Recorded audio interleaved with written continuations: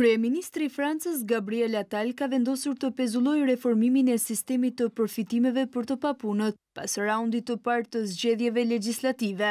Të dielën, ekstremistët e Bashkimit Kombëtar dhe aleatët e tyre fituan rreth tridhjetë e katër për qind të votave, të ndjekur nga grupimi i majtë Fronti i Ri Popullor me njëzet e tetë për qind dhe koalicioni Së Bashku i presidentit Macron me vetëm njëzet e një për qind të votave.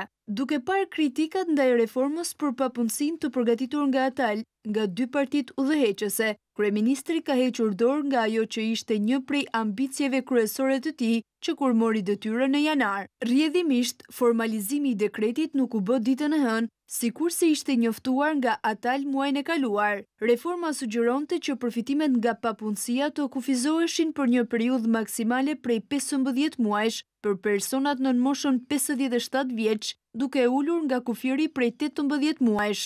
Tani Attal planifikon gjithashtu reduktimin e pranueshmërisë që do të thotë se njerëzit duhet të kenë punuar të paktën tetë muaj gjatë njëzet muajve të fundit për të siguruar pagesat shtetërore. Aktualisht pretendentët duhet të kenë punuar për të paktën gjashtë muaj gjatë njëzet e katër muajve të fundit, por qeveria synonte zgjatjen me dy muaj. Fronti i Ri Popullor e kishte cilësuar reformën si mizore dhe kishte thënë se do ta kundërshtonte atë. Edhe kryetari i Bashkimit Kombëtar, Xhordan Bardella, shprehu në një televizion qëndrimin e tij kundër saj. Më ka ardhur në majë të hundës me njerëz që sistematikisht kërkojnë përpjekje nga të njëjtët njerëz, tha ai.